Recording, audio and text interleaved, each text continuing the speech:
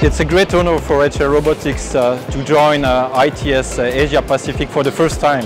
Our vision with PARKIE is to make everyday life easier and more seamless. But beyond convenience, uh, we see PARKIE as bringing safety or safer mobility thanks to reducing the risk, especially in the crowded car parks.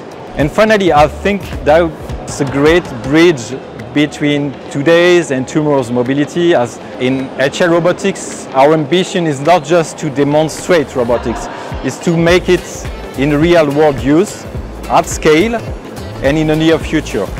So we really think that uh, HL Robotics will become one of the growth engine for HL Group. HL Robotics, we turn imaginations into reality.